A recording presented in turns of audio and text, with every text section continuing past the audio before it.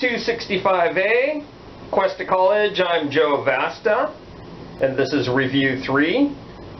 So let's crank out some problems. Take the derivative. So when I take the derivative of this right here, I see what I have on this first term is a product. Now, this comes from page 236, which is review exercises. So that's what the RE stands for. So this is a product rule. The product rule says the derivative of the first, which is 16x to the third, times the second, which is ln x.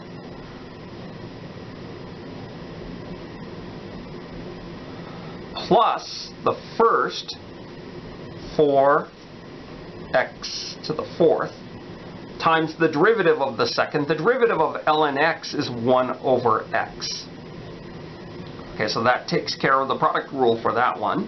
Now we're just going to zap this guy with the derivative gun. This is um, negative 4x cubed. So what we have is we have some cleanup work with algebra. So y prime equals 16x cubed ln x.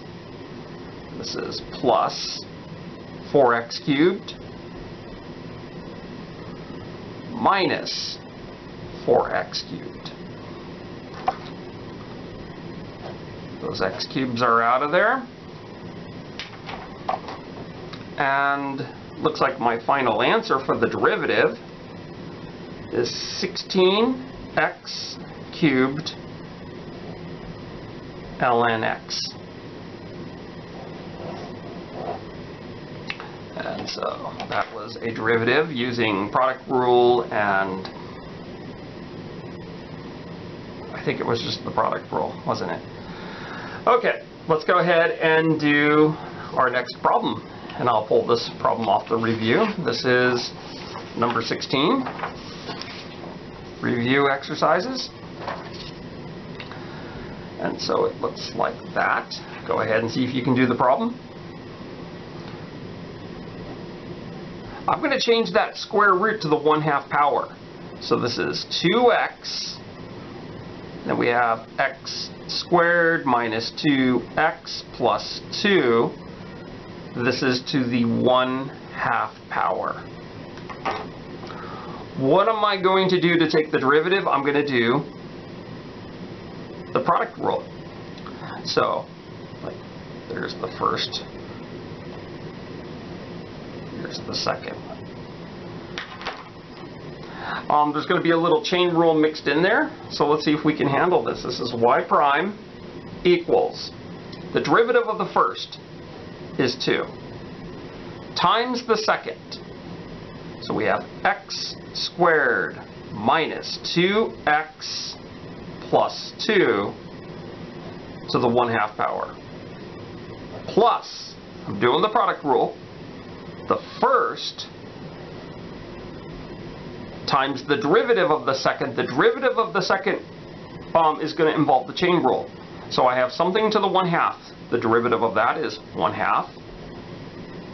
Something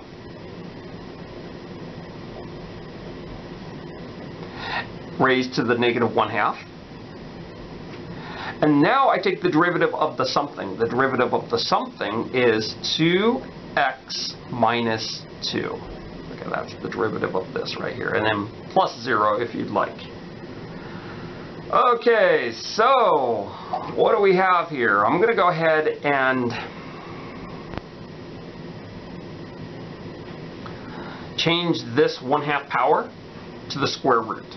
So I have 2 square root x squared minus 2x plus 2. Over here, we see that the 2's cancel. I'm going to bring that into a denominator and I'll switch that to a square root as well. So on the top, all I have is this x. We don't want to forget that. Um, times 2x minus 2, that quantity.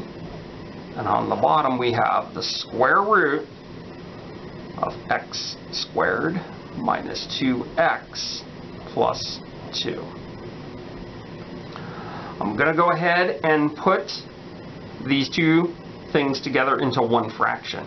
So we have to realize that this guy is over 1.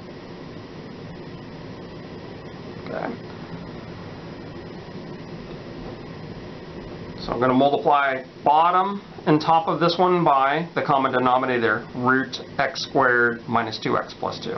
So that's what I'm going to do.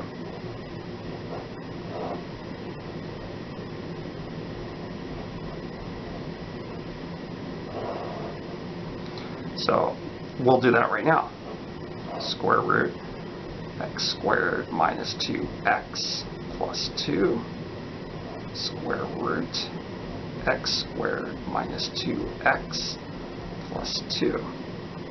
And of course, this guy is going to stay the way he is.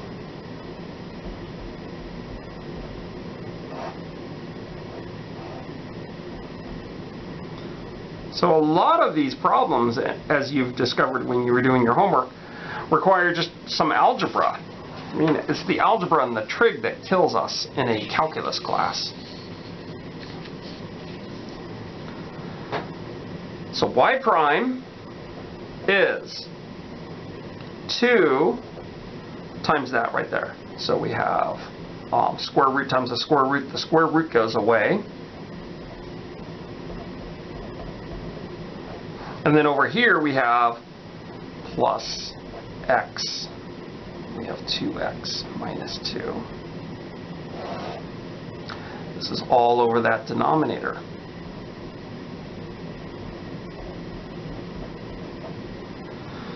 Okay, so we continue with this. y prime equals, I'm going to distribute the 2 and distribute the x there. So 2x squared minus 4x plus 4 plus 2x squared minus 2x. This is all over the denominator.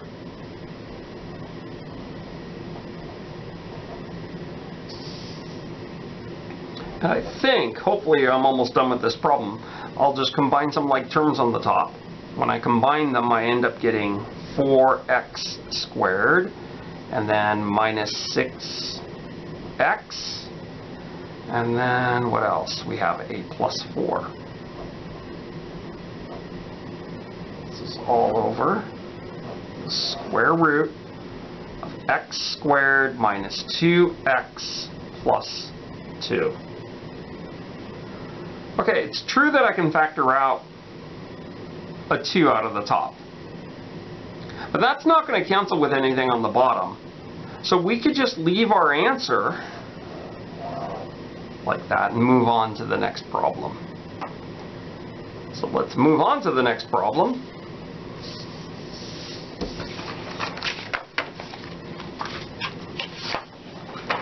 Take the derivative of that function right there.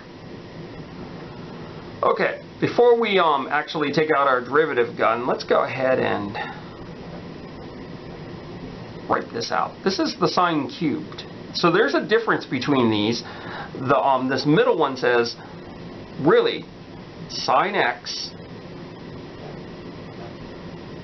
cubed. Whereas this last one says sine of x cubed, and I'll use parentheses around that argument. Okay, let's go ahead and take the derivative. The derivative of 5x is 5. Now this right here is the chain rule. I'm going to go ahead and look at this as something to the third power.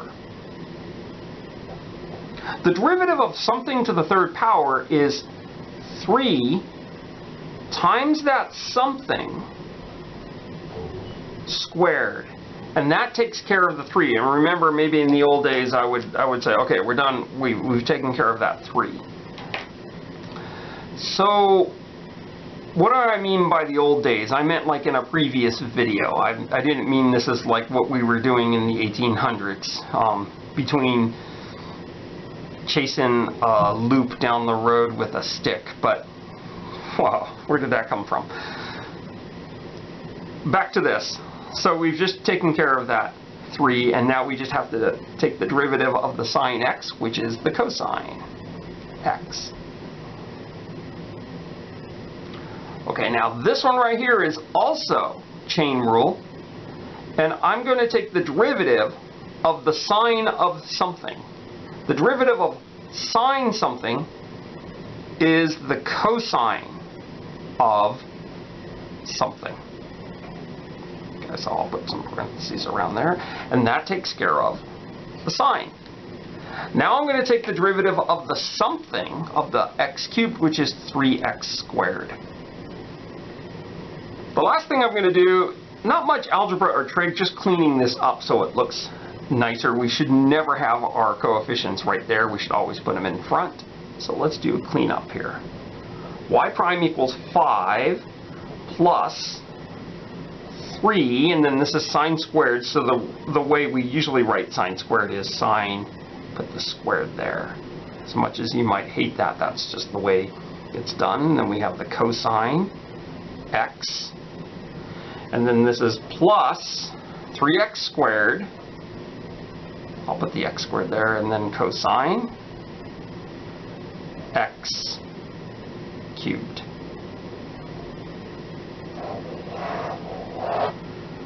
So there's the derivative. Let's go ahead and practice some more derivatives.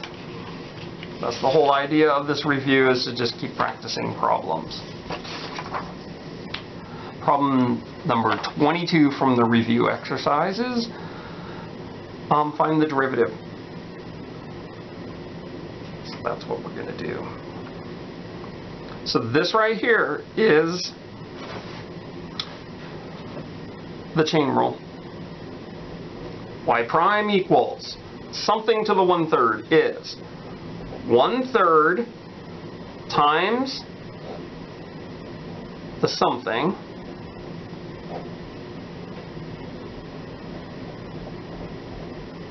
raised to the negative two thirds. How did I get negative two thirds? I went one third minus one. Okay, so we're breaking into this thing, so there we go. We can ignore that one-third. And now what I'm going to do is I'm going to say this is going to be multiplied by the derivative of this quotient. So we have to use the quotient rule. With the quotient rule, here's the top, here's the bottom. I'll put up a bracket here. I don't know why, just who knows, to capture it all. So the quotient rule says the derivative of the top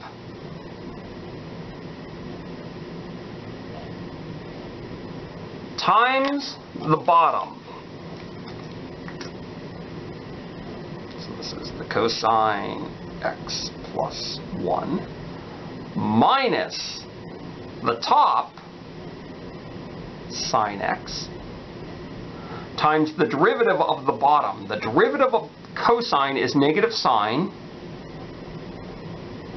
and the derivative of 1 is 0, so we're not going to put that. This is all over the bottom squared. And we'll finish off our um, bracket there. Now the rest of this problem, just like a lot of these problems, is cleanup work, either using, um, lots of times using algebra and then sometimes using some trigonometry. So y prime equals one third And so what I could do with this part right here is I can raise each of these to the negative two-thirds power. So this is sine x to the negative two-thirds power. And then this is cosine x plus 1 to the negative two-thirds power. And inside these brackets, what do I have? I have the cosine squared, multiplying the cosine through, cosine squared, plus cosine times 1 is cosine. And then this one is a 2 negative, so this makes a sine squared. This is all over the cosine x plus 1 quantity squared. Okay, look what we have in here. We have this guy right here. We have a cosine squared plus a sine squared. You remember what cosine squared plus sine squared is, why that happens to be 1. So there's a few things I'm going to do on this problem. Keep the 1 third here. Um, those guys have negative exponents, so I'm going to do cross the um, line change the sign. I'll put a dot there. So on the bottom I have sine x to the 2 thirds. On the top I have cosine x plus 1 to the 2 thirds. Meanwhile, inside this big bracket, I have um, the cosine x on the top, and then the green part just becomes 1, so cosine x plus 1. And on the bottom I have cosine x plus 1 squared.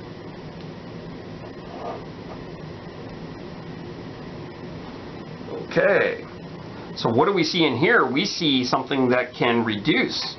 Um, there is a cosine x plus 1 on top, and then there's two copies on the bottom, so this one's going to cancel with that one. I'll just use another piece of paper here.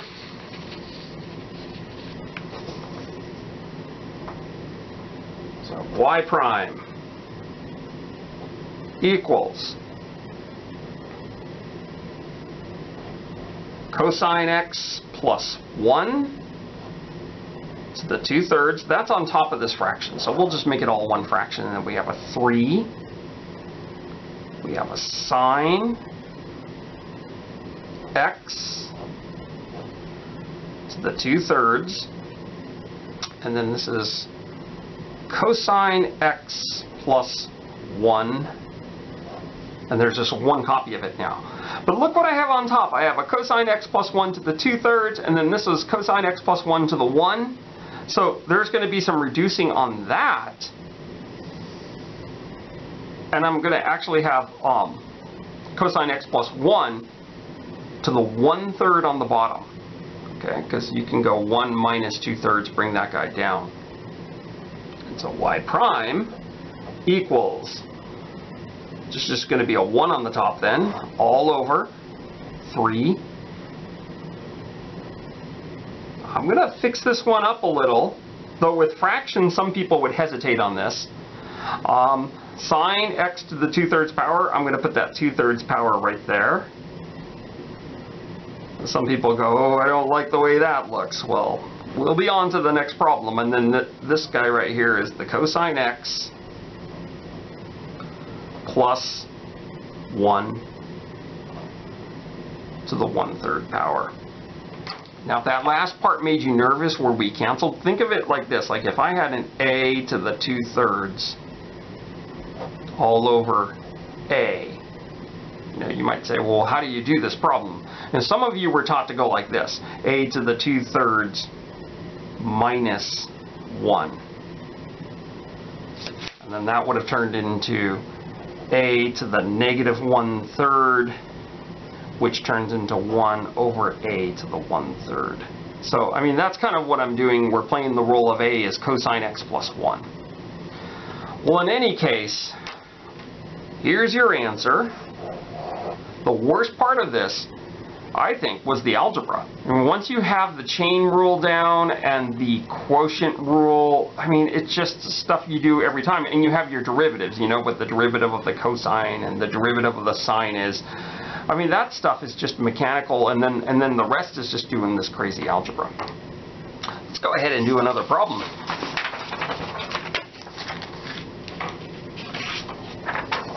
Our next problem is problem number 40 from the review exercises. So see if you can try out this problem and get a nice answer for this. y prime is. Okay, what I'm going to have to do here is the chain rule, and I might have to do the chain rule more than one time. The big picture is e to the something. What is the derivative of e to the something? Well, it's just, this one's the funnest one, e to the something.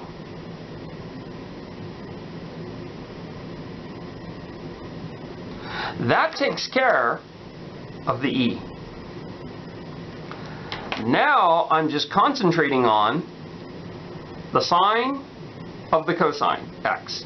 So really this is sine of something. What is the derivative of sine something? Well, it would be the cosine of something. So let's write that same something there. Now this is weird when you have the cosine of the cosine of x. It, it's, it's almost creepy, but let's continue. Get rid of that. And then we have to take the derivative of the cosine. The derivative of the cosine happens to be negative sine x. Our answer is almost good, except we have to clean up this negative. We usually, when there's a negative, we like to put it out front. So maybe we could have done that when we were writing this down, but I didn't want to lose anybody. So this is negative sine x. We have e. We have the sine of the cosine of x. And then this is multiplied by the cosine of the cosine of x. And even though cosine x is only one term for that argument and I don't need the parentheses, usually when you're doing the sine of the cosine of the cosine of the cosine, you really want to put the parentheses, otherwise it, it just looks, it looks weird on your eyes. So there's the answer for this derivative.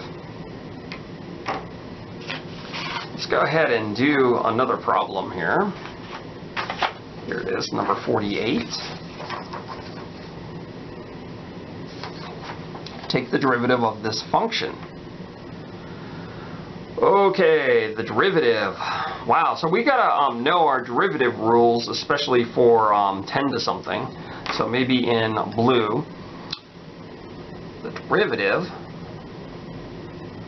of like 10 to the x is really going to be 10 to the x, and then we have to put ln 10. So there's a rule there. Um, before I take the derivative, let's just rewrite this so um, we can put this 10th power on the sine like using parentheses, just because it might be easier for the chain rule. So we have plus sine x. This is to the 10th power. that's what that means. Okay, so the derivative. This right here is the chain rule, and so we're going to do the chain rule here as well. Let's focus on this. The derivative of 10 to something. Well, we have that formula here. The derivative of 10 to something is 10 to the something multiplied by ln 10. That is the formula we have written there you know, here was x, but we, right here we have sine x. Now, because we are doing the chain rule, we've just taken care of the 10 to the something. Now we just have to take the derivative of the sine, which is the cosine.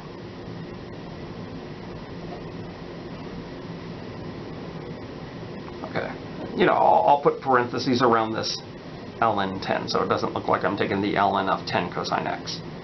Because there's the first one. Plus, now we're going to take the derivative of sine x to the 10th power. So we're going to bring the 10 down, so this is really something to the 10th, which is 10 times the something. This is going to be to the ninth power using the chain rule, that takes care of that. And now I'm taking the derivative of the sine, which is the cosine x. So I'm going to clean this up very mildly. In fact, the last one could be boxed. I'm just going to go ahead and write this as 10 raised to the sine x ln 10 cosine x plus 10 times sine x to the ninth, so I'll put the 9 right there. And then this is cosine x. Okay, and so here's our answer. So get the next problem here. Take the derivative of this. Well, the derivative of this has a variable in the base and a variable in the exponent. Your book sometimes calls these um, functions tower functions, but when you have a variable in the base and a variable in the exponent, you have to use logarithmic differentiation. So that's what we're going to do. Logarithmic differentiation says you, you ln both sides. Ln y equals ln x raised to the cosine 2x. Okay, the reason I did that is now I can rescue this person, okay, this, this is the princess in the tower, and she can jump out front. So look what I have. I have ln y equals, so the cosine 2x jumps out in front. I'll put parentheses around there. And then this is going to be times the ln x. I'll put parentheses around there because what we're going to be doing when we take the derivative is the product rule. So I think it's time to take the derivative d dx. The derivative of ln something is 1 over the something. We multiply that by the derivative of y with respect to x dy dx, or just a y prime. And then over on the right-hand side, we're going to go ahead and do a little um, product rule here. The derivative of the first, and that's going to require the chain rule, the derivative of the first derivative of cosine something is negative sine something.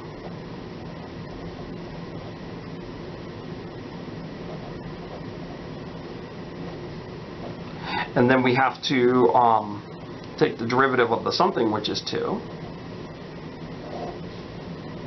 So what are we doing? We are doing the product rule. The derivative of the first times the second. Plus the first times the derivative of ln x, the derivative of the second, and the derivative of ln x is 1 over x. Okay, so what I'm going to do now is I'm going to multiply this whole equation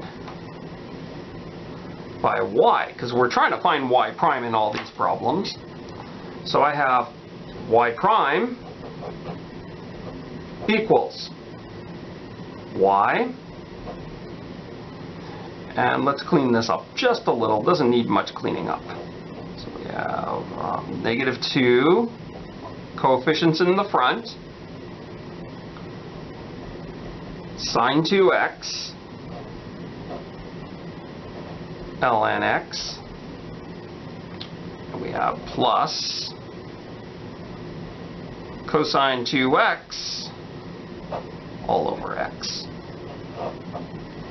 So we almost would be done, except we like to write our y prime in terms of x's, and there's a y there.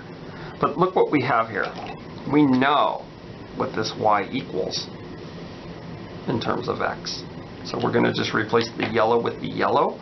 So y prime equals, I won't put a box around it now, x raised to the cosine to x times this junk right here, now I gotta write this junk again, negative 2 sine 2x ln x plus cosine 2x over x.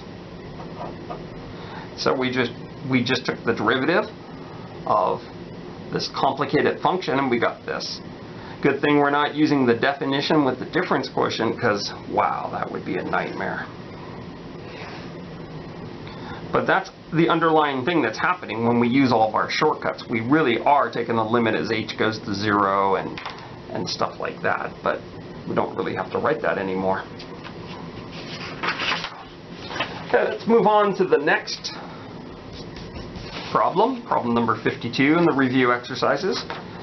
And with problem number 52, we do see a log base 3 of something. So just as a reminder, because these are the ones that people tend to forget, if you took the derivative of log base 3 of x, it actually equals 1 over x. It's kind of like the ln, but then you also have to put an ln3.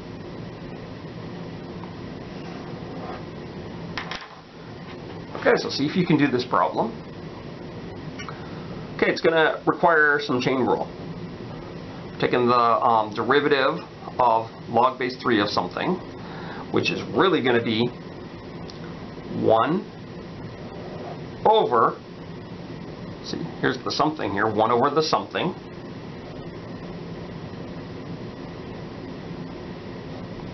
times the ln3.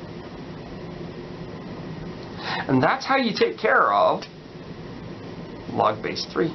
It's one of the ways. And now we are doing the chain rule. Now I have to take the derivative of x, x plus 8, which is just 1 plus 0. And now it would have almost been good if I didn't put that. Now I have to um, clean up my answer because I did that. So this is 1 over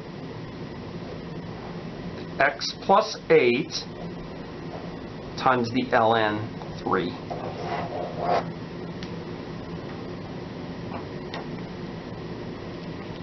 Okay, our next problem is this one right here. Number 60. Take the derivative of this function looks really nasty. And what we're going to use, we're going to use logarith logarithmic differentiation. So on the exam, I will tell you, use logarithmic differentiation. That's what I'd like to, you to use if I ask. Um, the other way is to use the quotient rule with the chain. It's going to be a really big mess of algebra. This is going to be messy the way I'm going to do it, but it's probably not as bad. So logarithmic differentiation says I ln both sides. ln y equals the ln of this junk. x squared plus 1 cubed all over x to the fourth plus 7.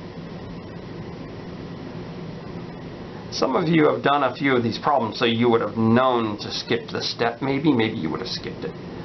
So I'm now going to use properties of logarithms to make the right-hand side look a little simpler. Okay, so it, it doesn't have powers and things like that. So the first thing I'm going to use is the quotient rule for logarithms. ln y equals what? The quotient rule for logarithms says the log of a quotient is the difference of the logs. So this is going to be ln x squared plus 1 cubed minus ln x to the fourth plus 7 to the eighth 2x plus 1 to the seventh. So that's what we did, the quotient rule for logs. And now what we're going to do here is we have the, um, the log of a product, which is the sum of the logs. So I'm going to use the product rule for logarithms. So ln y equals ln x squared plus 1 cubed. And I'm going to just leave the negative right there and use the product rule here. So this is ln x to the fourth plus 7 raised to the eighth plus, so that's the product rule, ln 2x plus 1 to the seventh. My next step is I'm going to distribute that negative sign. So this is ln y equals ln x squared plus 1 cubed minus ln x to the fourth plus 7 to the eighth power minus, distributing the negative, ln 2x plus 1 to the seventh power. I have not done any calculus yet. Okay? I've, I've ln both sides of an equation and I'm doing properties of logs. Now I'm going to use the power rule for logarithms. Make this 3 jump in front of the logarithm. So ln y equals 3 ln x squared plus 1 minus, okay, the 8 jumps in front, 8 ln x to the fourth plus 7 minus, because that minus is there, the 7 jumps in front, 7 ln 2x plus 1. Whew, lots of properties of logarithms. trying to find another piece of paper here. Get ready for the change. Um, so what I'm going to do is I'm going to go ahead and multiply, no, I'm not going to multiply, I'm going to um, apply the derivative to both sides of the equation. d dx. So this is where I need the new piece of paper here.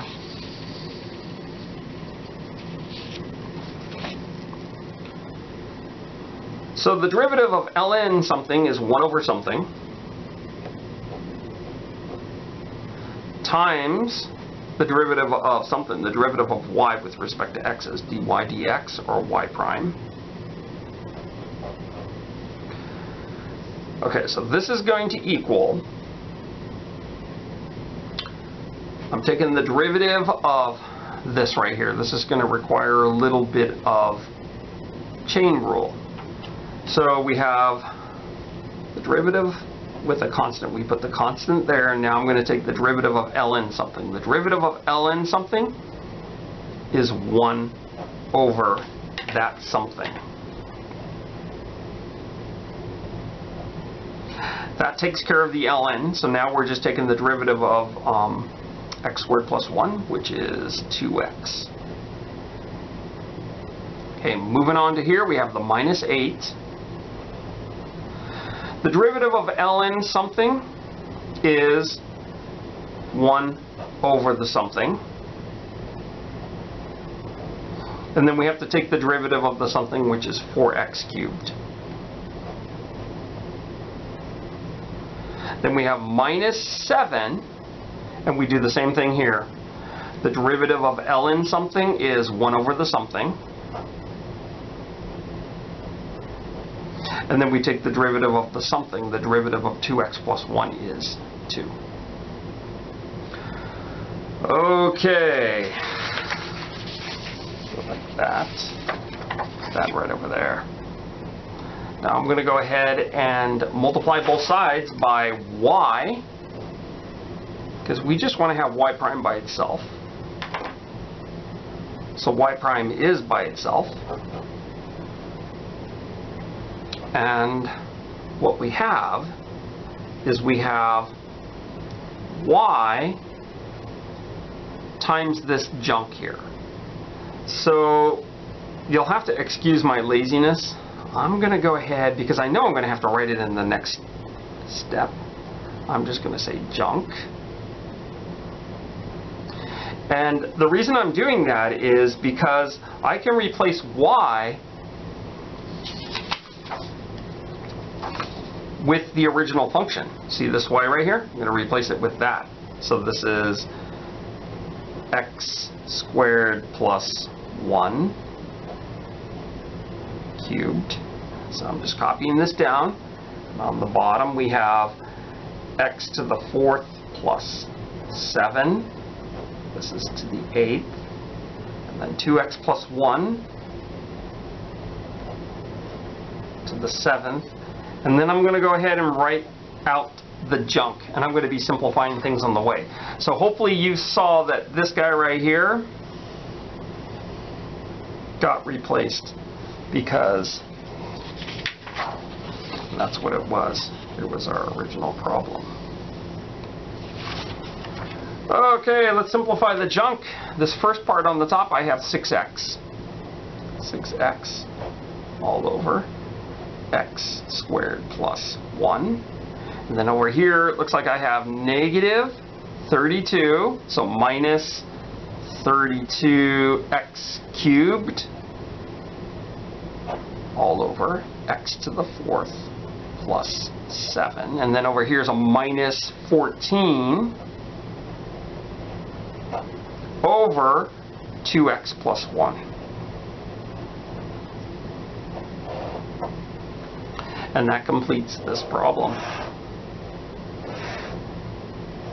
Logarithmic differentiation. Let's go ahead and do another problem.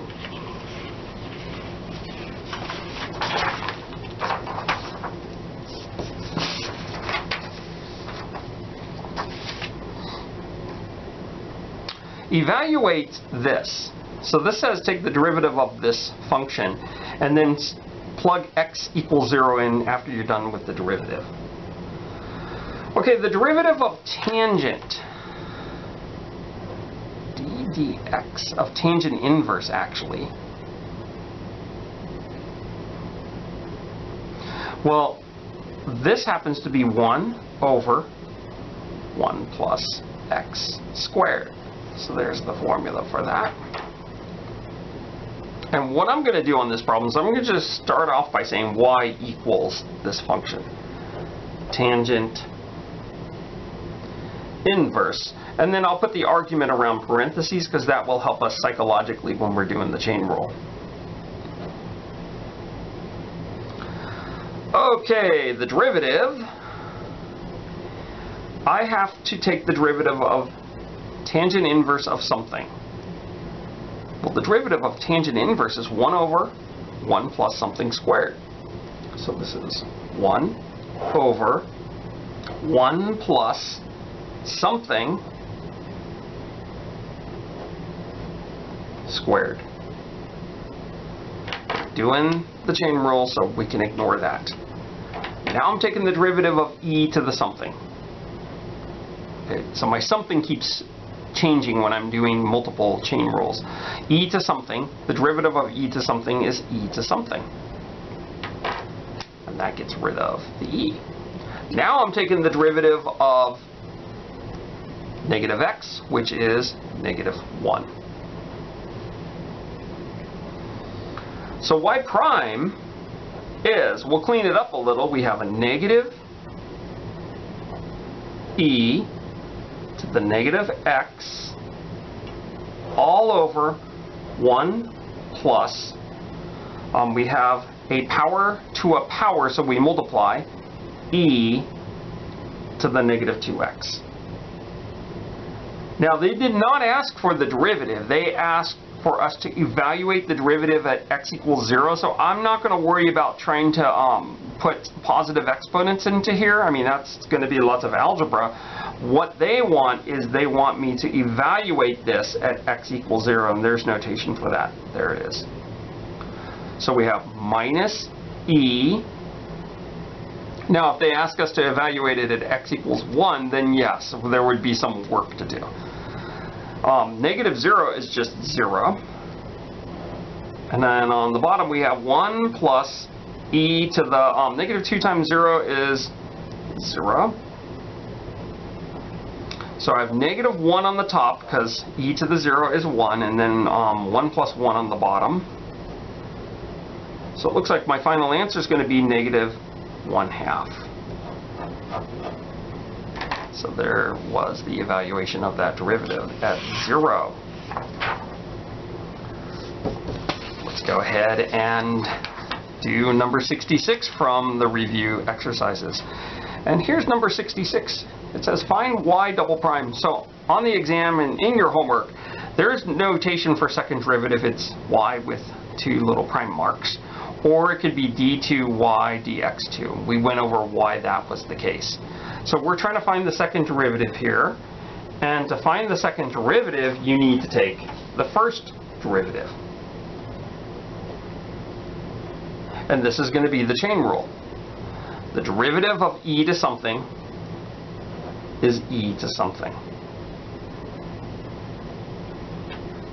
That gets rid of the e. And when I say that gets rid of it, I just mean we, we cross it out so we don't have to look at it anymore when we're taking the derivative. It's still there.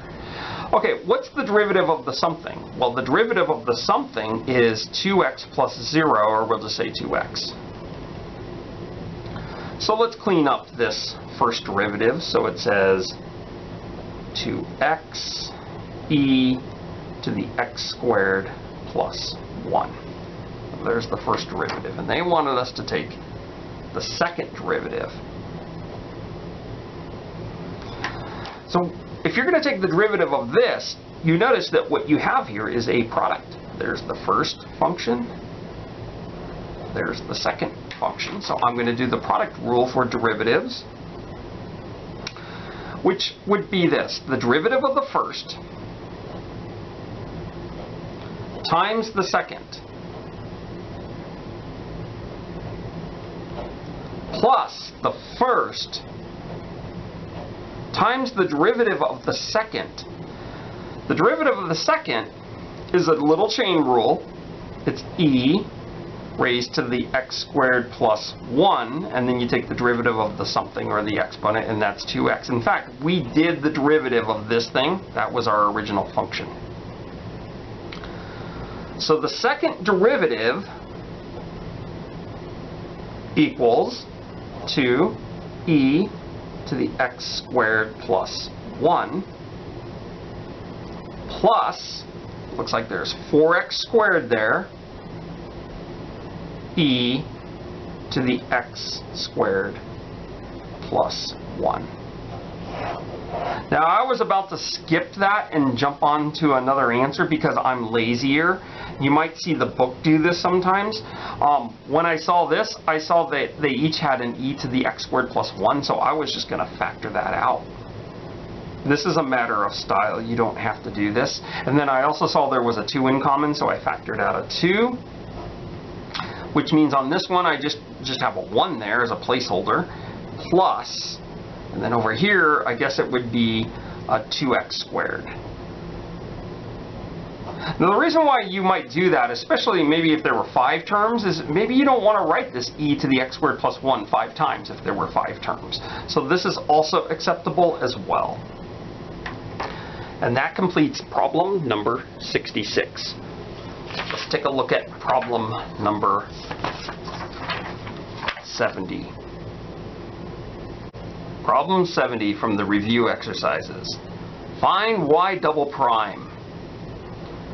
So we've got a sine y and a y here, so this means we'll probably have to do implicit differentiation. Hit both sides with the derivative gun with respect to x.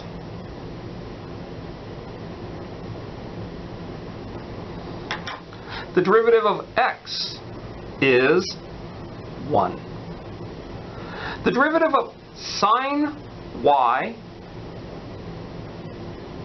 is the cosine y.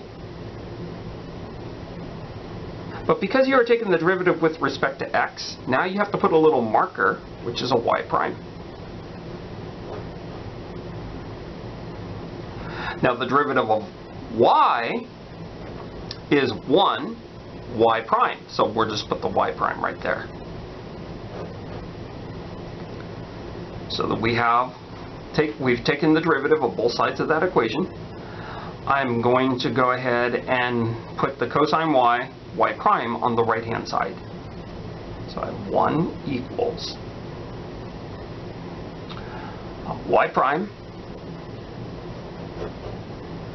minus the cosine y, y prime. Now, why did I do that? It's because I want all my y primes on one side and my non-y primes on the other side so I can factor out a y prime and then divide and, and then I would have solved for y prime. Um, let's go ahead and factor out that y prime. y prime. 1 minus cosine y in parentheses. And then I'm going to divide. So this is 1 over 1 minus cosine y. This equals y prime. And I don't need to box it anymore because I'm not going to lose it. So I'll write it in a conventional fashion where I put the thing that I'm solving for on the left-hand side. y prime equals 1 over 1 minus the cosine of y. That's the first derivative. They asked me for the second derivative. To find the second derivative, um, probably going to have to do the quotient rule. There's other ways we can do this. We can bring the 1 minus cosine y up, put a negative 1 power around there, and do the chain rule on that. You will get the same result. I'm going to just do the quotient rule. So, y double prime is the derivative of the top, which is 0, times the bottom, which is a bit pointless to write, but I'm going to write it anyway, minus, why is it pointless to write? Because I'm multiplying it by 0. So minus the top times the derivative of the bottom. The derivative of cosine is negative sine. But this is 1 minus cosine, so that's a 0 there, and the derivative of negative cosine is positive sine. So we have sine of y, and let's not forget the y prime. Why do we need the y prime? Because we have just taken the derivative with something with y in it. And this is with respect to x. So this is really a dy dx. Quotient rule, derivative of the top times the bottom minus the top times the derivative of the bottom. This is all over the bottom squared.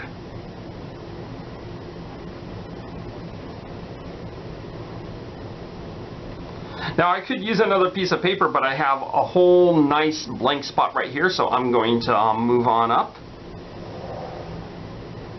over here.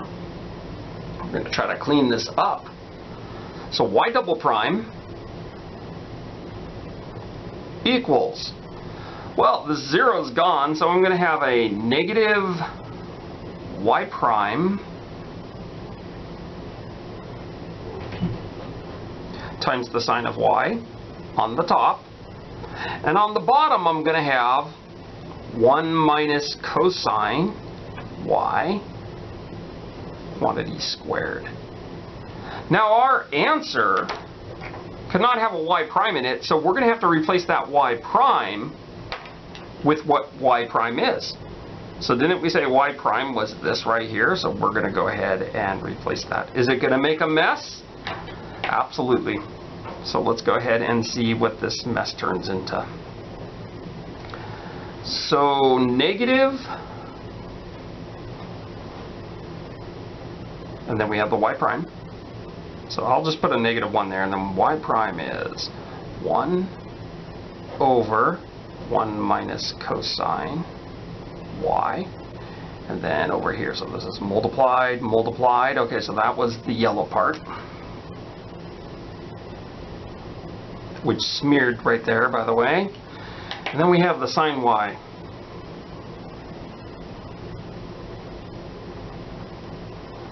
This is all over the bottom, which says 1 minus cos y squared.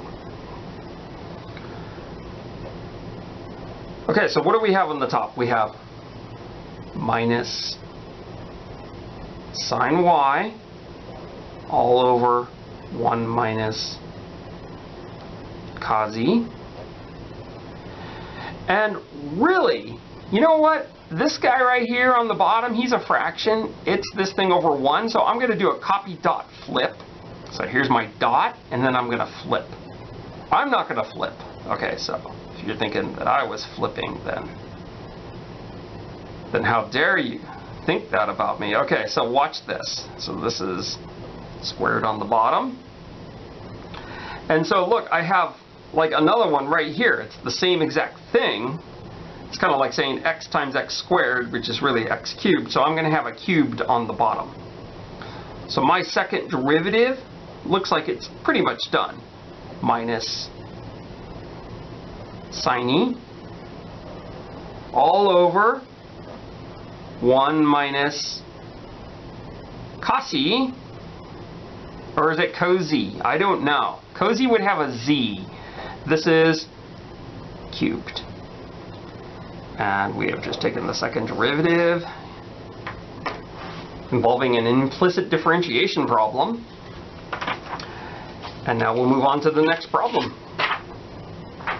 Problem number 76. Review exercises. Find the tangent line at the point 2, 1 of this right here. So some of you are like, I have trust issues. You know, I don't trust people. My heart was broken a year ago or whatever. And so you don't trust anybody. So if you're one of those people, then plug this in there to make sure that that point really is on the curve. That would be funny if it wasn't. I, that would be a time where I would actually pause the video and cut that part out. But I think it's going to be, look at this, 2 squared, which is 4. 4 times 1, so 4 plus 1 cubed. So 4 plus 1 is 5. Okay, so that point is on that curve. We're trying to find the tangent line at the point on the curve. We don't have to draw a picture or anything, we just have to um, find out what y prime is. Because what is y prime? y prime describes slope. So if you have a formula for y prime, you plug that into the formula, you get the slope, you'll have a slope and this point, which you can go y equals mx plus b. So that's what we'll do. Implicit differentiation. I'm going to hit both sides of this equation with the derivative gun. Things don't look so good for that 5 over on the right hand side. He's, he's already crying. I can hear him weeping very quietly. This is going to be a product rule. The derivative of the first, which is 2x. Now we don't have to put an x prime because really you're going dx over dx, which is just a 1. So you don't have to put that. The derivative of the first times the second plus the first times the derivative of the second. The derivative of y is 1, and then you have to go dy dx, which is just a y prime. If you've been doing your homework, you know what I'm talking about here. So that is the derivative of x squared y. Plus, the derivative of y cubed is 3y squared, and then put your little marker there, y prime. Now, why was the 5 crying? Because it just got zapped with the derivative gun, and it's like, ah, it's 0, it's nothing. Let's go ahead and solve for y prime. This guy right here, he really doesn't belong on this side, does he? On the left-hand side, he does not have a y prime. So we'll knock him over to the right-hand side. This is going to be negative 2xy. These two terms, they each have a y prime in them, so I'm going to factor out that y prime. And I'm going to have x squared plus 3y squared. And that equals the negative 2xy. I'm going to divide both sides by the x squared plus 3y squared. So this is going to give me y prime equals negative 2xy all over x squared plus 3y squared. That, that's not the answer. It would have been if they just said find y prime, but, but what they're asking for is the tangent line at that point. So now we want to plug this point into this expression. Now the fancy way of doing that is going y prime and then we put a line and then we put the point here. It's kind of weird, you know, a weird notation, but you'll get used to it if you keep taking technical classes. So I'm plugging that point, x is 2, y is 1, into this expression. So this is negative 2 times x, which is 2, times y, which is 1. This is all over x squared, which is 2 squared, plus 3 times y squared. I better just use parentheses there. So on the top we have negative 4, and on the bottom we have 4 plus 3, which is 7. So that there is the slope. Don't you hate when the slope is a fraction? Well, it happens sometimes. So you have a point of 2, 1, and you have a slope of negative 4 sevenths. And you are to find the tangent line. Now, our tangent line looks like this. I mean, all lines except um, vertical lines look like y equals mx plus b. There are four letters, two variables, those would be x and y, and two constants, those would be m and b. And we know one of the constants. So guess what? y equals negative 4 sevenths x plus b. Okay.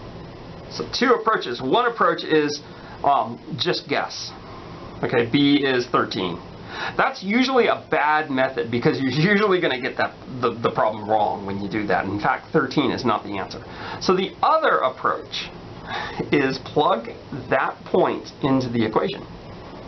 Okay, so x and y are variables. This is one instance. So that when x is 2 and y is 1, so um, 1 equals negative 4 sevenths times 2 plus b. 1 equals negative 8 sevenths plus b. Um, let's go ahead and just add the 8 sevenths to both sides. I was going to multiply the equation by 7, but you know what? I'm feeling pretty tough today. So this is 8 over 8 plus, I know it's 8 over 8. Okay, it's, I'll just write it out. 7 over 7 plus 8 over 7. It is true that 1 is 8 over 8, but I didn't really need to um, consider that. So what does b equal? b equals 15 over 7. So we now know the two constants m and b. The tangent line will then look like this. y equals negative 4 sevenths x plus 15 sevenths. There's the answer. Well, that was real fun. and the fun's going to continue. So um, how does the fun continue? I don't know how the fun continues. I'm trying to find my relay. Ah!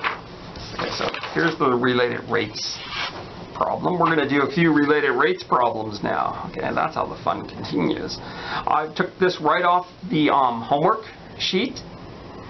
We have dc dt. So the c is going to be the circumference. This is a circle. Okay, so hopefully that helps. You're like, oh, thanks for clearing that up. The circumference is changing at 4 feet per second.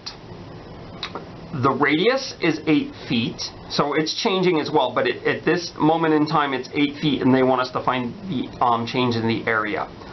So what do we need to do this problem? Well, we're trying to find dA dt, so let's crank out a formula that has the area of a circle in it. The area of a circle is pi r squared. And let's color code these things because that's what I've been doing, dc dt. We'll make it red.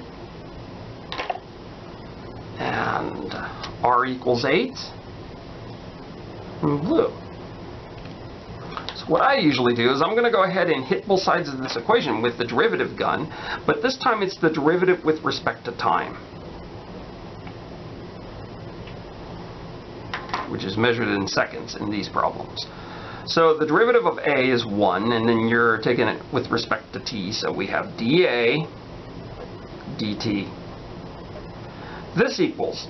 Now remember, pi is just a constant, but the r squared is what we're concerned with. So the derivative of r squared is 2r. So this is going to be 2 pi r. And because we're taking the derivative with respect to t, we go dr dt. So we take out our colors here, and we see that, look at this one, this one. We have that one right there. We're trying to find dA dt, that's our goal. 2 pi, that's going to be 8. Ah, so what is that? We're going to go ahead and um, use another color. We don't know what that is. So is there another formula that we know with a circle that maybe has the circumference in it? And the answer is yeah, hopefully. The circumference is 2 pi r. Okay, I'm going to hit both sides of this equation with the derivative gun. And this gives me dc dt equals um, constant times r, the derivative of that is just constant, and then dr dt. And so I know this one right here. I know that this guy can get replaced with a 4. We have a 2 pi there. And then this guy right here, dr dt, that's the one that I need to know when I come back over here. So I'm going to um, divide both sides by 2 pi.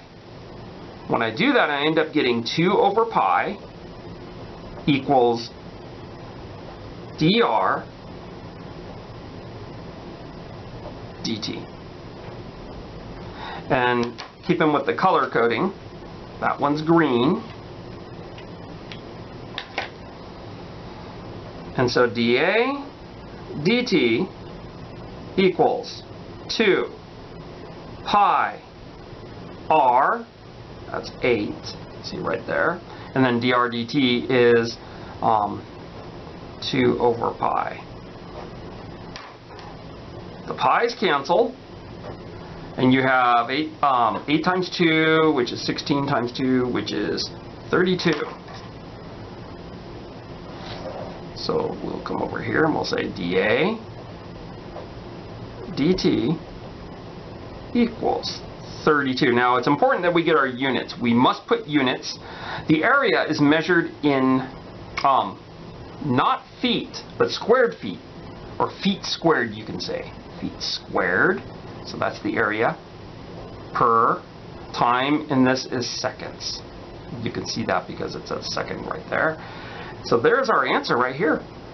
This is dA dt, related rates. Okay, let's go ahead and do problem number 7. Related rates, right triangles. So this comes from that homework handout. Um, let's go ahead and draw that right triangle.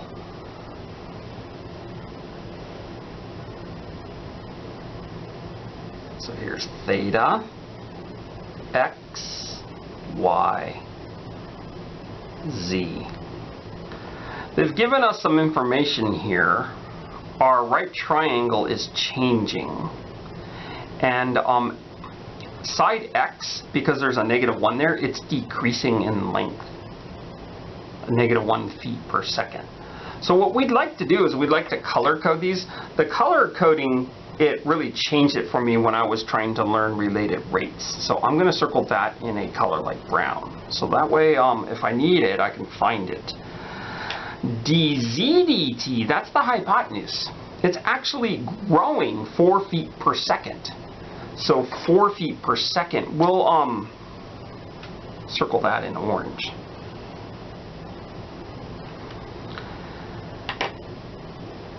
At a snapshot in time, you have x equals 4, which I'll circle in blue. So that doesn't mean that x is fixed. In some of these problems it says one of these sides is fixed, which means it's not changing. x is changing, but at this snapshot in time, it is 4 feet. And z, so like, you know, 3 seconds from now, it would, it would actually be less because it's changing, it's getting less. Okay, and then on Z in this snapshot in time, it is 5, and I'll make that in purple.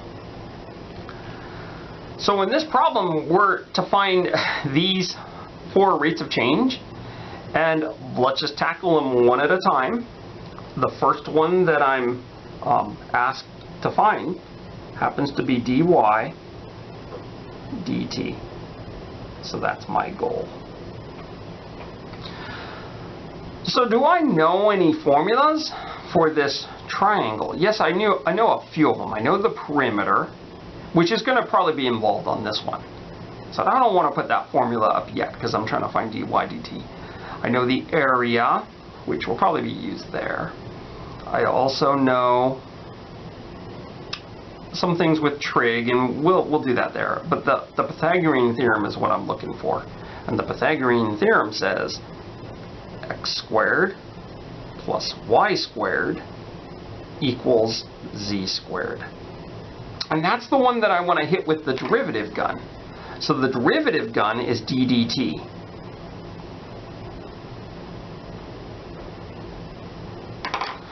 So the derivative of x squared is 2x. And then I have to put a dx dt. plus the derivative of y squared with respect to t is 2y. Dy dt. And the derivative of z squared is 2z dz dt. Now I'm going to scale down this equation by multiplying the equation by 1 half, just to get rid of those 2's. So I end up getting x dx dt plus y dy dt equals z dz dt. So now using the colors, let's go ahead and replace the dx dt with a negative 1. So I'll circle that in brown. And the z dt, is this guy right here. The one I'm actually solving for is dy dt. There's six variables in this equation. x at this instant in time happens to be 4, so circle that, and z is this right here. Now, it seems as if, like, if I'm trying to solve for dy dt, I would also need to know what y equals at this instant in time, and it seems like it's missing. But what we can do is we have this equation, x squared plus y squared equals z squared. And we know at this moment in time that x squared is 4. Oh, sorry, that x is 4, so we have 4 squared plus and then we have y squared, and then z is 5, so 5 squared. So this is 25 and 16, so y squared equals 9. y is going to equal plus or minus 3, but it's a length, so 3. So y equals 3 at this moment in time is good because now we can replace that. I think a common thing that people do when they when they work related rates problems is they they know that x is 4 and um, z is 5 and they will go ahead and put that in this equation before we hit it with the derivative gun. Well if you just put 4, 5, and 3 into this equation you'd end up getting um, 25 equals 25 and there would really be no calculus involved and then you would have defeated the purpose. So let's go ahead and plug these different colors in here. So we have a 4 here. The brown is negative 1. Then we have 3 And then dy dt, this equals z, which is 5, and then the orange one is 4. So let's see, this is 20 here, and then we're going to add 4, so that's going to be 24 on the right-hand side. This is 3 dy dt. So now we know what dy dt is, and we're almost coming off the paper here. dy dt is 8, and we have to say the units. Um, y is measured in feet, so this is going to be 8 feet per second. And so there is the answer to the first problem, dy dt. And we're going to continue this on another piece of paper. So hopefully it's, I got this other piece of paper here. And the next thing we want to know is dA dt. So that's our goal. So do I know any formulas that involve this right triangle and the area? Yeah, I do. The area of a triangle is 1 half base times height. So the area of this triangle, here's the base x and the height is y. So it's going to be 1 half base times height, x times y. So here is an equation that we can now, we don't want to plug x equals 4 and y equals 3 in there. We want to, because the x and y are still variables and they're changing as time changes. So we're going to hit this thing with the derivative gun on both sides. The derivative with respect to t. d dt. So the derivative of a with respect to t is dA dt. This is going to equal, we're going to go ahead and do product rule here. We'll just say that's the first function there and the second function is there. So the derivative of the first is 1 half and then because we're doing this derivative with respect to t, we're going to say dx dt. Okay, so that's the derivative of the first times the second plus the first, which is 1 half x, times the derivative of the second. The derivative of y with respect to t is 1 and then dy dt.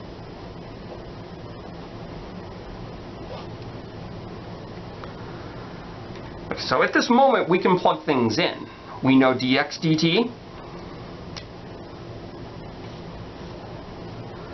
We know Y. I think Y was the green one here, so we'll, we're color coding it here.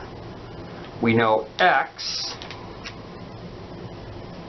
And dy dt, isn't that the one we just figured out? dy dt, so a new color we'll use will be red.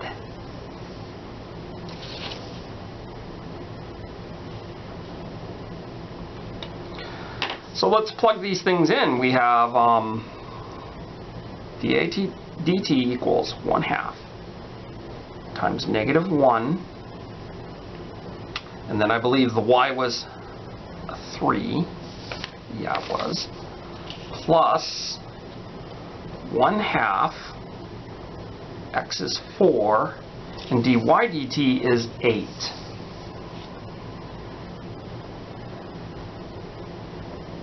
so this gives me negative 3 halves and the other one's going to be 32 over 2, so that's 16. But maybe it's best to keep it as 32 over 2. So it looks like my final answer is 29 over 2 feet squared per second. Okay, so that's what we have for DADT, and I used feet squared. Why? Because it's an area. And then the time is measured in seconds. Okay, let's go ahead and do the next one. So we found dy dt, dA dt, new piece of paper. We're now going to find d theta dt, and that's the one that some people hate.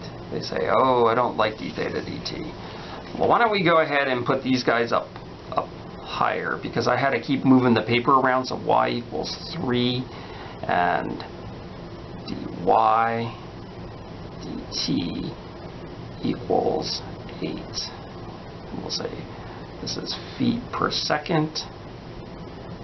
This is feet. So we'll color code them with the same colors. Usually not into color coding that much, but on these problems it really helps.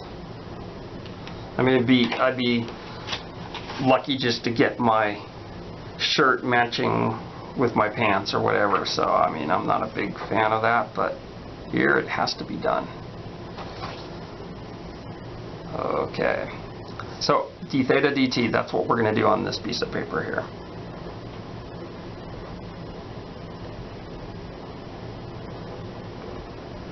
Now, we need an equation that has a theta in it. And actually, we can come up with six different equations because we have the sine, cosine, tangent, cosecant, secant, and cotangent. But the one, well, there's one of two that I would use, the sine and the cosine, because those derivatives are pretty simple. So, you know, any of those six trig ratios will give you the same answer that I'm about to get. But I think I'm going to go with the sine because the sine is um, the easiest to take the derivative of. So that's what I'm going to have here. I'm going to say sine theta equals. Now, you can do this SOHCAHTOA, but I'm, I'm bad at spelling, so I'm going to say Oscar had a hunk of apples. Oscar had, so opposite over hypotenuse. Opposite is y over hypotenuse, which is z. So, you know, theta is a variable, z is a variable, y is a variable, and your question is, would you rather do the quotient rule or the product rule? Because right now, if you use zap both sides with the derivative gun, you'll be doing the quotient rule, and there's nothing wrong with that.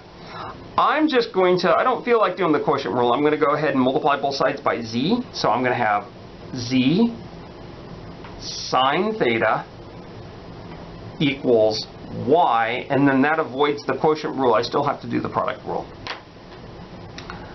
Going to hit both sides of this equation with the derivative gun, d dt. And here it goes. This is the derivative with respect to t. So, product rule. There's a product right there. The derivative of the first, dz dt, times the second, sine theta, plus the first, which is z, times the derivative of the second. So the derivative of sine something is going to be cosine something. Cosine something. And the, the derivative of theta with respect to t is d theta dt.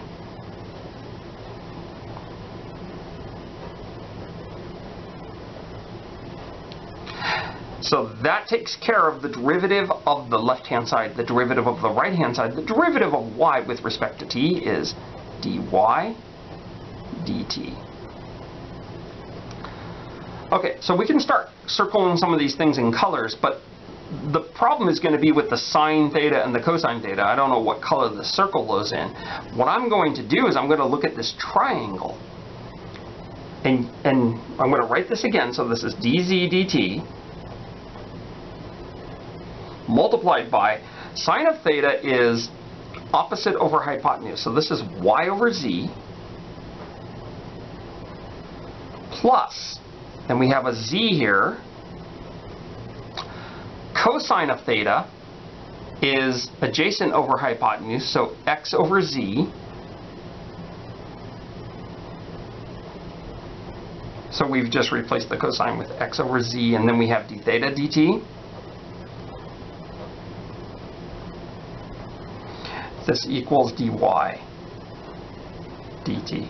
Now it's true, I can go ahead and say, let's solve for d theta dt, but we don't need to do that. I'm just going to go ahead and plug some, um, some values in for these variables.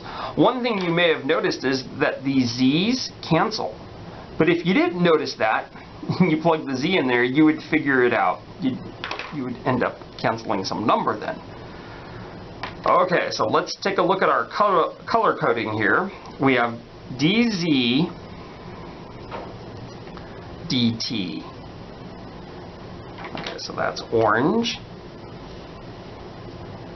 And y is green. Z is purple. X is blue. We don't know what d theta dt is, but that's what we're looking for. And dy dt is red.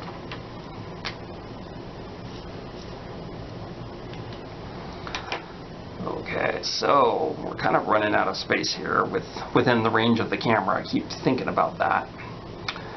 d z dt is 4.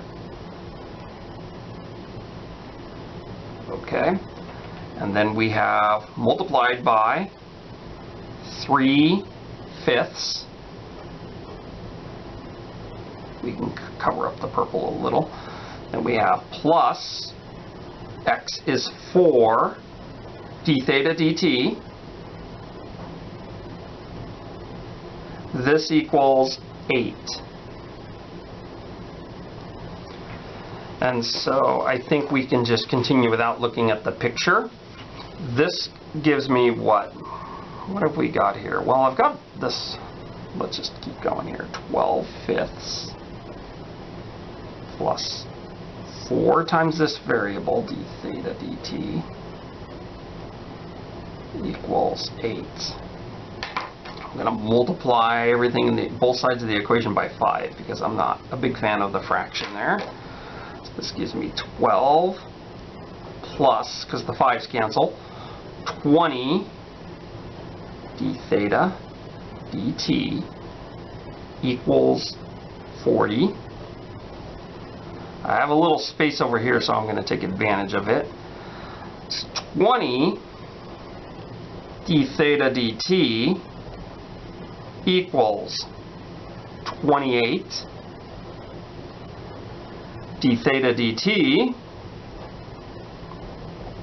equals 28 over 20 and that reduces I think 4 goes into each of those so d theta dt equals 7 fifths. Now what are the units going to be on this? Well, theta, what is that measured in? Now, a lot of you want to say, oh, that's measured in degrees, but degrees gets a little bit clumsy, especially when we're graphing trig functions and things like that. So when we don't really want to have something there, you know, we don't have that degree there, if we don't have degrees in here, we are going to say radians. Radians, and then the time is second. So um, the theta is changing by 7 fifths radians per second. And that's the answer for d theta dt. Okay, so we almost have them down here. Have them all covered. The only one we did not do is dp dt. That's the perimeter. And do we know what the perimeter is of that triangle? Yes, the perimeter is taking a walk around the triangle. This is x plus y plus z. This one's not going to be as traumatic as the last one. Let's go ahead and hit this equation on both sides with the derivative gun. The derivative of p with respect to t. So this is going to be straightforward here. dp dt equals dx dt plus dy dt plus dz dt. And we'll use our color coding here. dx dt is brown. dy dt is red. dz dt, well that's orange. Okay, so let's add these together. We have negative 1 plus 8 plus 4. So that's 12 minus 1, which is 11. Now what's perimeter measured in? Well, perimeter in this example is measured in feet, feet, and then time is seconds, feet per seconds, per second. And there it is. That's the related rates, right triangles, number seven. We figured out all the four things they were asking us to do. Let's move on to another problem.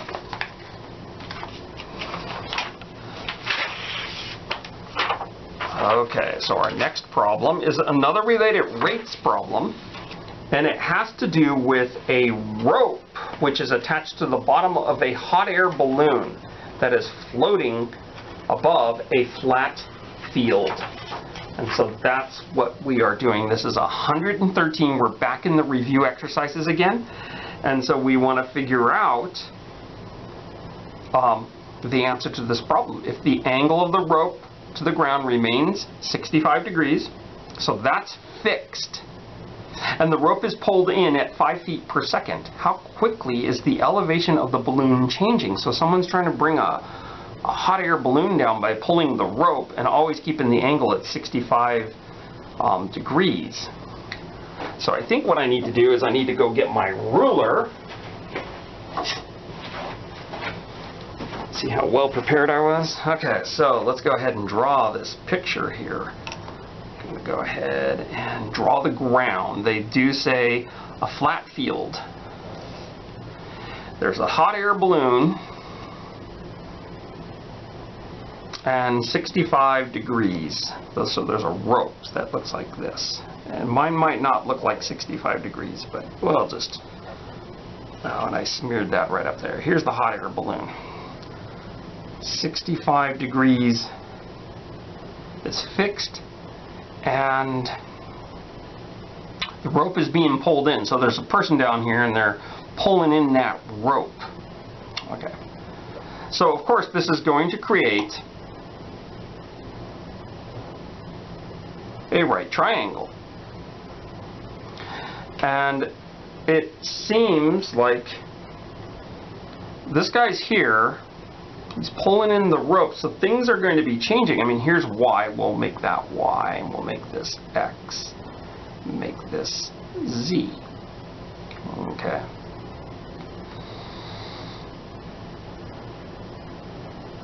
If the angle of the rope to the ground remains 65, which we have, and it says the rope is, is pulled in at 5 feet per second.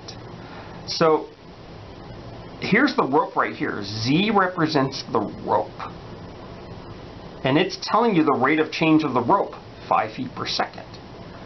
Now the deal is, if I just went dz dt equals 5 feet per second, something would be wrong with that. And what would be wrong with that is the fact that it's not increasing by 5 feet per second, it's being pulled in, so it's getting shorter. So dz dt is actually negative 5 feet per second. How quickly is the elevation? Okay, so what is the elevation in terms of the balloon? Well, the elevation is going to be y. How quickly is that changing? So our goal is dy dt. So there it is. So do we know an equation that might hook together the 65 degrees, the y, and the z. Well, think trig ratios, and perhaps you think the sine equals the opposite over the hypotenuse. So I'm going to write that. The sine of theta equals the opposite and y is changing and so is z over the hypotenuse. So there's the equation that we're going to go with. Now, because I don't want to do the quotient rule, I'm going to multiply both sides of the equation by z. z times the sine of 65 degrees. Sine of 65 degrees is just a constant. This equals y. I'm going to hit both sides of this equation with the derivative gun, d dt. And the derivative of a constant times z is just that constant. So sine 65 degrees. But because I'm taking the derivative with respect to t, I have to write dz dt. The derivative of y with respect to t is dy dt. So when I was looking at this problem, I was getting a little worried because it, it seemed like they weren't giving us what y equals or what z equals. And, and really, in order to answer this question, we don't really need to know that. Color coding things, let's just call the dz dt negative 5. It's really the only one we need. And what we're looking for is dy dt. That's our goal. So this is just sine 65 degrees times a negative 5. This equals dy dt. So we're pretty much, we're almost done with this problem here. So you would have to put this into your calculator, making sure your calculator was in degrees because that's the way they gave it. They didn't give us radians, they gave us degrees, and you would hit sine 65 and you'd multiply that by negative 5. And then um, they didn't tell you where to round the answer. So usually on a test, you don't round your answer um, unless you're asked to round your answer. In the book, they always like to give these problems, and then when you look at the back, oh, they round to like one decimal place, and they never told you. So books are very bad at telling you where to round. I'm gonna, I'm just gonna round this to one decimal place. So this is just me punching this into the calculator. I end up getting so I'll put the answer over here. So dy dt. And since I'm rounding it, I'm going to say this is approximately equal to, and I'll round it to the nearest um, tenth. Okay. I ended up getting negative 4.5. Okay, when I plug that into the calculator. Now, what is this measured in? Y is measured in, well, we see feet there, so feet per second. And it makes sense because the altitude is changing, it's getting less because someone's pulling the rope in.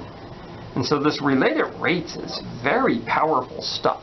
I mean, there's always talk of movement and what it, what rate is this changing at, and we can use calculus to do these problems. And this is another good reason why I gave you those handouts, especially the right triangle one, because after doing that right triangle problem, this problem, even though it looks scary, it really wasn't as long as, as problem, whatever it was. What did I do? Problem number seven. It wasn't as long as problem number seven on the related rate sheet. They were asking for four things. So that is the deal. Let's move on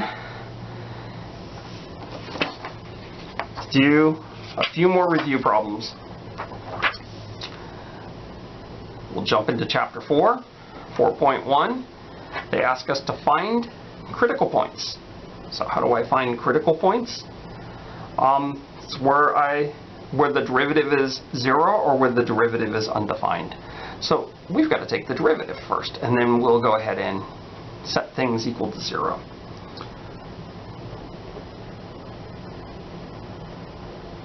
Okay, the derivative of t squared is 2t. Okay. Over here, I'm going to have to do, with the, with the logarithm, I'm going to have to do the chain rule. So the derivative of ln something is 1 over the something. And then we take the derivative of the something, which is 2t.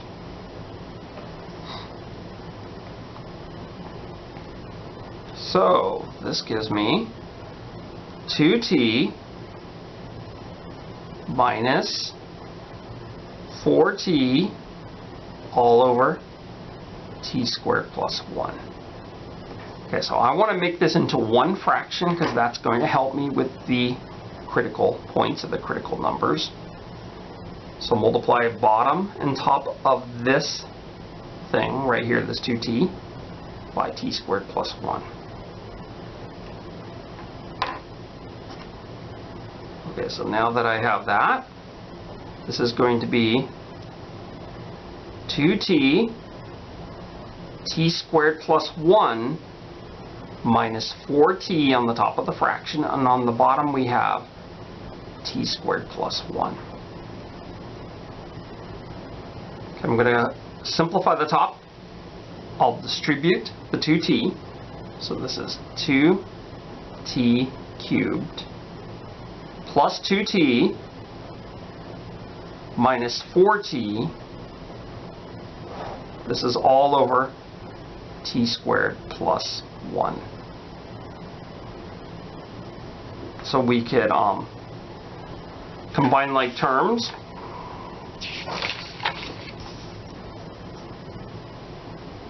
So this equals 2t cubed minus 2t all over t squared plus 1.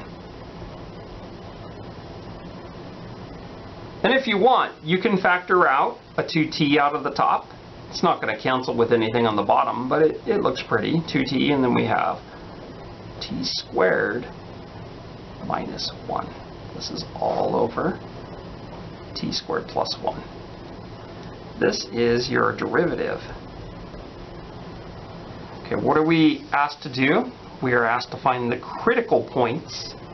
To find the critical points, that's where the derivative is 0, in which you set the top equal to 0 to find those ones. And it's also where the derivative is undefined and you would set the bottom equal to 0.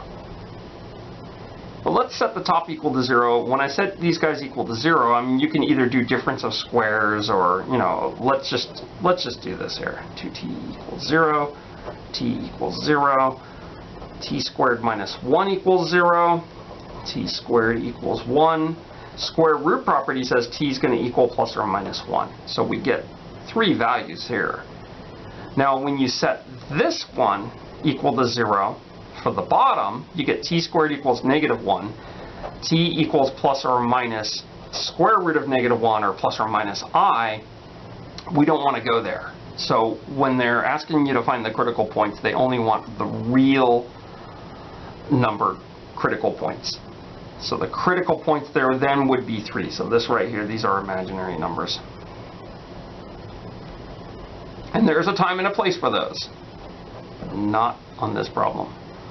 So our critical points, which they ask us to find, would be 0, negative 1, positive 1. Or you can be lazy and go 0, comma, plus or minus 1.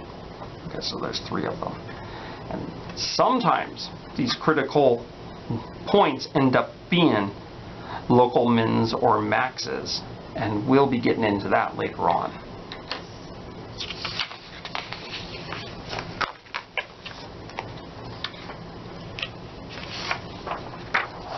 Okay, problem number 53 in 4.1. It says to find, determine, sorry, determine the location and value of the absolute extrema, those are the absolute mins and maxes, of your function on this time, well, we say time interval, but this is an x interval from 0.1 to 1. Okay. So how do we do this problem? Well, we take the derivative, set it equal to zero, and then if any of those critical numbers end up in this interval, we'll go ahead and see what the values are, and we're gonna we're gonna pick the smallest value and the largest value. And we're also going to take these endpoints. So let's go ahead and I think the first thing that we want to do is take the derivative. Okay, because we have to see if there's any activity within this interval, if there's any critical numbers or critical points within this interval that might give us um, an absolute maximum or an absolute minimum. And this is exactly what you do in game theory. So there's a whole branch of math called game theory where you have this region and it's not an interval. Now it's actually this region on the xy plane and you have a function flying over it and you, you do the same thing. You're trying to find the absolute max so you can maximize your strategy. But it all has to start at a lower dimension in this class. So if there are some of you who do take game theory, you'll go, oh yeah, we did that in Calculus 1. So the first thing we want to do is take the derivative. Before we take the derivative, let's write this as y equals 2x to the x. So you have um, variable in the base and variable in the exponent. So this is going to be logarithmic differentiation. I'll write that out. So I'm going to go ahead and both sides with the derivative with respect to x, d dx. And so the, the derivative, oh wait, can't do that yet. Okay. Um, oh, what's happening to this whiteout? Why, why do I not want to do that? Because I want to ln both sides. So that's what I'm going to do. I'm going to ln, sorry about that, y equals ln I was just derivative gun happy. Sorry about that. They might take my license away now. Okay, so I ln both sides, and I'm going to take this power of the argument of the log and jump it out front. So this is ln y equals x ln 2x. Now I can take out the derivative gun. Watch the muzzle. Okay. So the derivative of ln something is 1 over something. And then we put a little marker there because it's with respect to x. And then um, right here is the product rule. Because we have a product. This guy right here and this guy right there. And so we say the derivative of the first times the second.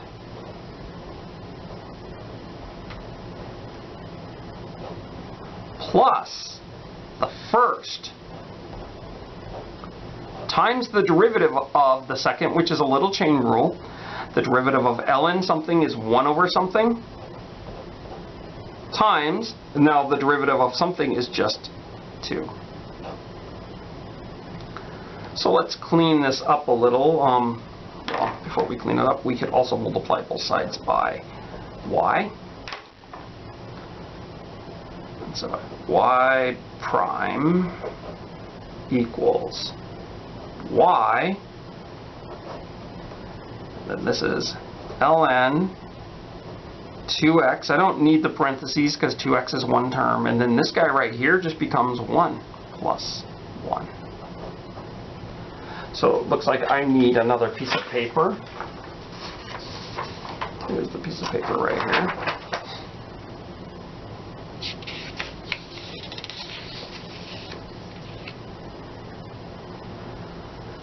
It looks like I have y prime equals Oh, so what am I doing? Um, I've got to replace this y with something with x's in it, and look, we know what it is. It's going to be 2x to the x power. So y prime equals 2x to the x power times this right here, ln 2x plus 1. Okay, what am I going to do with this derivative? I'm going to set it equal to 0. I'm trying to find the critical points. Um, I have a product that equals 0, so I set each factor equal to 0.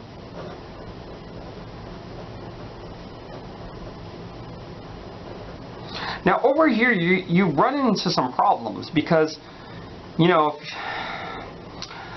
you might say, well, x is 0 gives me 0, but then when you have something to the 0 power, that gives you 1. So we're going to deal with stuff like this later on when we learn something about L'Hopital. But right now, this gives us a dead end. There's no solution for this. This is the one we're interested in. So over here, we are going to solve for ln 2x. And this equals negative 1. I'm going to exponentiate both sides. You could also change forms from log form to ex, um, exponent form. On the left-hand side, that property of logs, e to the ln 2x, that thing goes pop, and you just get a 2x. 2x equals e to the negative 1. Divide both sides by 2. You get x equals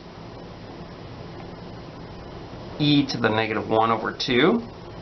Or you can write it as 1 over 2e. Now, the interval that we're searching for the absolute min and the absolute max is this interval right here. Okay, does 1 over 2e fall in that interval? Well, that's hard to do without a calculator. So if you pull out a calculator, I'll round to three decimal places. And what I ended up getting when I put that on the calculator is 0.184. Does it lie in the interval? And the answer is yes. Now, if it didn't, we would throw that away. But because it lies in the interval, now there's three people who are competing. There's like a little election going on here. And so you've got to go f of 0.1, f of 1, we were always going to do those two. And then anything, any critical number that lands within that interval, he is now in the running to be local max or local, not local, sorry, absolute max or absolute min. Now, there are times when this guy, this critical point, ends up being nothing and he loses the contest because that guy wins for max and that guy wins for min. So let's see what you would do. You would plug these guys where? Into your original function. Your original function set f of x equals 2x quantity raised to the x. So you would be doing this, hopefully, I mean two of these at least, on a calculator. And when you do this, stuff like this, so when I did this on the calculator, I mean, you can, you can go 0.2 raised to the 0.1 power, you end up get, uh, get approximately, and I'll round to three decimal places, 0.851. Now when I put 0.184, or you can go 1 over 2e on your calculator, however you want to do it, you end up getting 0.832. We still don't know who wins the contest because we have to put 1 in here. Now 1's pretty simple to do because you put 1 in for x, you get 2 raised to the 1 power, which is 2. Now we can see who's the winner. Which one is the highest value of those three values? This one is the top dog. And that's in this interval here.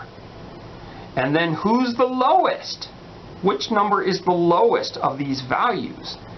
This guy right here. 0.83 is lower than 0.85, so this is the bottom dog. Which I don't even know what that means, but it's the bottom dog. I'm still using the word even though I told you I didn't know what that means.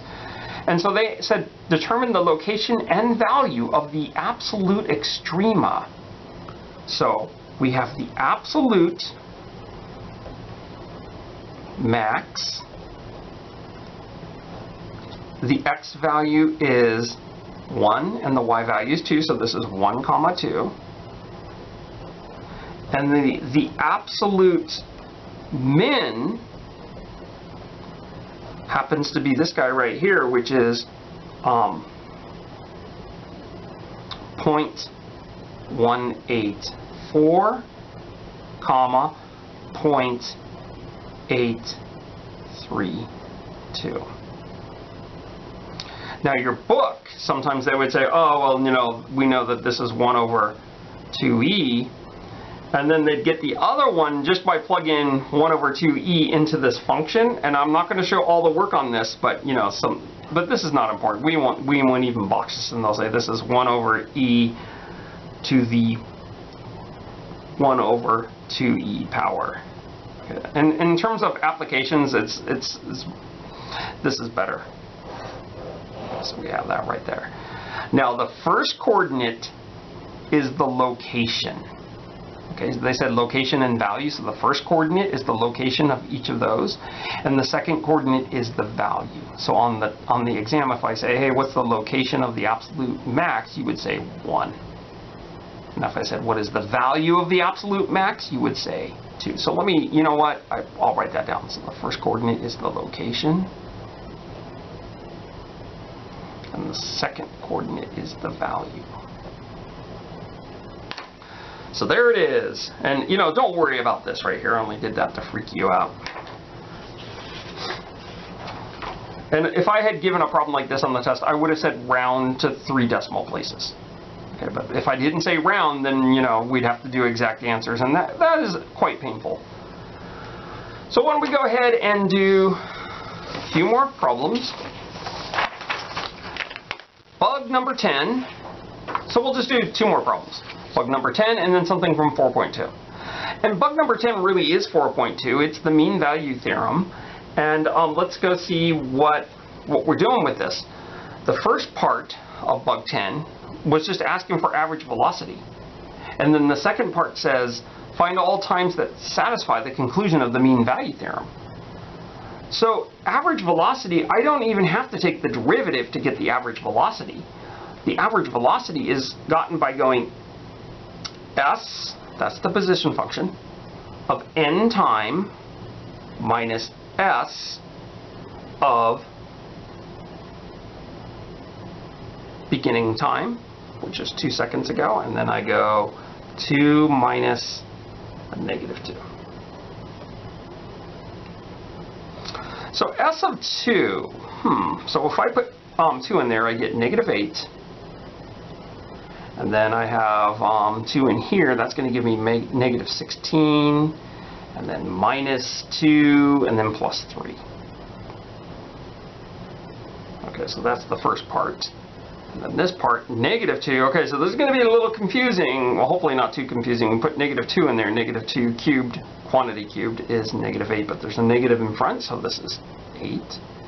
Negative 2 goes here. That gives you 4 times 4, which is 16. There's a negative, so minus 16. And then we have a minus negative 2, which is a plus 2. And then we have the plus 3.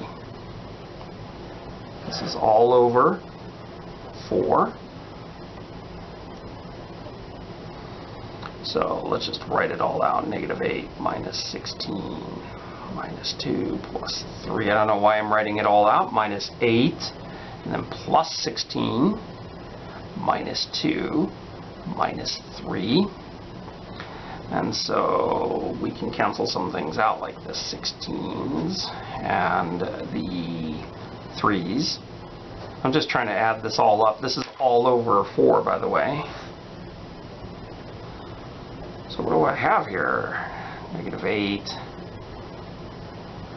Another negative, so negative 16, 17, 18, 19, 20. So negative 20 over 4, which is negative 5. Negative 5, and this is average velocity feet per second. So this is not gotten by taking a derivative. we we are just doing the average velocity in a time interval. So this is like old stuff that we've covered. Now here's the new stuff. It says find all times that satisfy the conclusion of the mean value theorem. What the mean value theorem says is if you've got this nice continuous function, a differential fun differentiable function, um, sorry, the function is differentiable in this time interval, and it is, it's a nice polynomial, then there's a time within this time interval that has an instantaneous velocity of negative 5 feet per second. That's what the mean value theorem says. So what we need to do for this part is actually compute the instantaneous velocity function, which is just the derivative. So this is um, negative 3 t squared minus 8 t minus 1. Okay, so what do we have to do? There is some time within this time interval where this, um, where the instantaneous velocity equals this average velocity of negative 5. So I think I'm going to use another piece of paper here. And what I really have to do is take the velocity function, which we just computed right here. So I'll just repeat this. v of t equals negative 3t squared minus 8t minus 1 and set that equal to negative 5. And we're going to see if we can solve that. Okay, so this equation right here has lots of negatives. I'm going to just multiply that equation by a negative 1 on both sides. So this is 3t squared plus 8t plus 1 equals 5. And then what I'm going to do is get everything on one side by subtracting 5. So I have 3t squared plus 8t. We have minus 4 equals 0. Does this thing factor? Let's see. Factors of 12 that subtracting give you 8. 1 and 12, no. 2 and 6, well, they have to subtract to give you 8, so no, and 3 and 4, no. Okay, so this is out. So this means I have to do the quadratic formula. Quadratic formula. So this is your A, this is your B, this is your C. T equals negative boy. Couldn't decide on a radical party. The boy was a square. He lost four awesome chicks. It was all over by 2 a.m. There's my quadratic formula. So let's go ahead and plug things into the quadratic formula here. Minus 8 plus or minus the square root of 64, because that's 8 squared, minus 4ac. So um, minus 4 times a times c. Well, one of those is negative, so it's going to be a plus 4 times 4 is 16 times 3 is 48. This is all over 2 times a, which is 6. So what I have here is I have um, negative 8 plus or minus the square root of, you add those together, 8, 9, 10, 11, uh, so this is 112, this is all over 6. Now, um, on the Bug 10 handout, it said round to two decimal places, I believe. Two decimal places. So, I went ahead and put these in my calculator, and I ended up getting 0.43 and the other one is negative 3.10. Okay. What was our original time interval? It was from negative 2 to 2. So, do any of these lie in there? And, and we should have at least one of them lying in there. So it says says find all times. So sometimes it could be two times that lie in there. Well, it just seems like this one does not lie in there and this one is. The 0.43 is in that interval. So 0.43, this is an approximation, seconds. So what does this really mean? This means that the bug has an average velocity of negative 5 feet per second over this time interval. Well, there's a time in that time interval, which is 0.43 seconds, that if you put into the instantaneous velocity function, you would get really close to negative 5. And so that finishes problem number 9. We have one more problem to do, and that will end this review. Maybe this review was a little too long, but you didn't have to watch the whole thing. And I know what you're thinking now. Sure, now he tells us. But you never really did have to watch the whole review. Some of you already um, have been studying hard. So let's go ahead and do problem number 12. It says determine whether Rolle's theorem applies. If so, find the points guaranteed to exist by Rolle's theorem. So what is Rolle's theorem? It's just the mean value theorem um, where the average velocity is zero.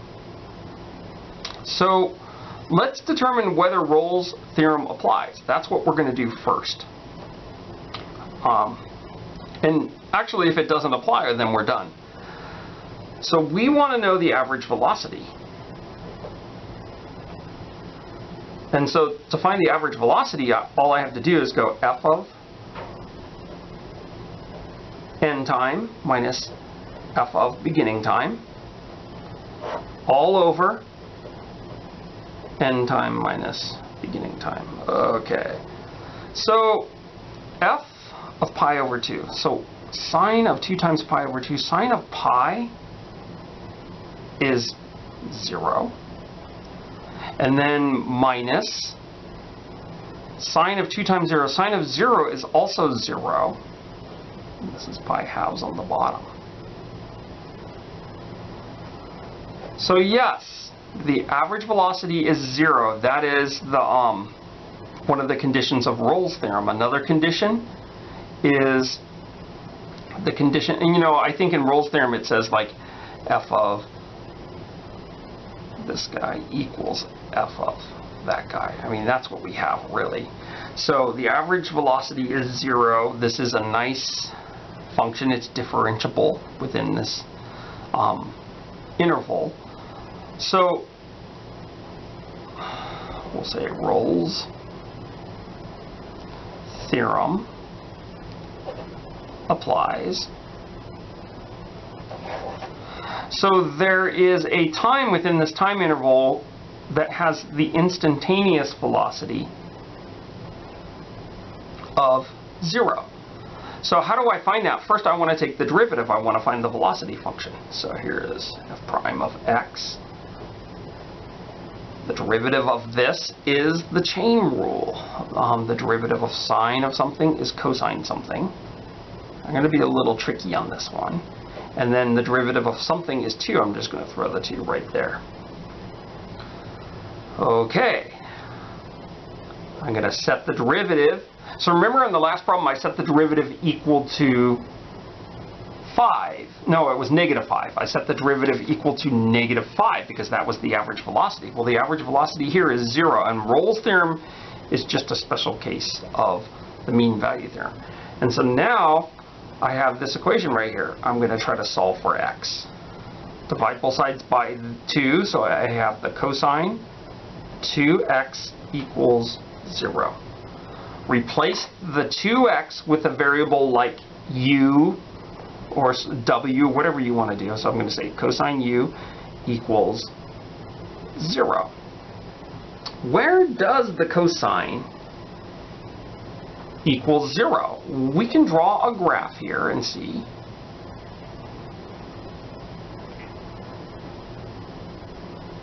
The cosine equals 0 right here at pi halves, and at 3 pi over 2, and here at 5 pi over 2, etc.